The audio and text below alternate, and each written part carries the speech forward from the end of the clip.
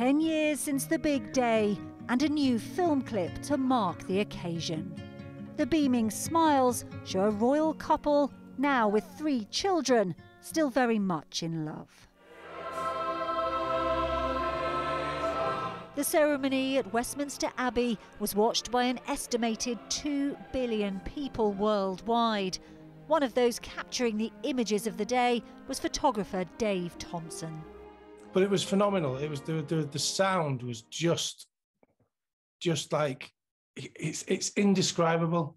And there's a lovely smile on, on Kate's face, and William's obviously looking at family members that way. So they're not necessarily looking at one another, but they're both just you can just see how happy they are in the picture. To have got something like that of them just looking that happy um, yeah, I was pretty pleased with that in the end. Nearly 2,000 guests were invited to the wedding. Also there was 13-year-old Theo Beanie, who sang in the choir. Now a 23-year-old musician, he says the day inspired his future career.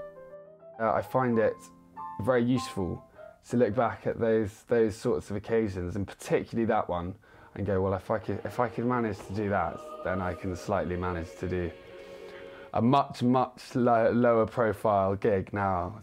But William and Kate weren't the only ones getting hitched that day, and this happy couple also had tea towels made to celebrate.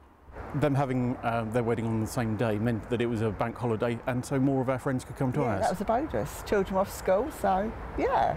Thank you, William and Kate. Absolutely. Yes. yes, yes. It was a memorable day for so many.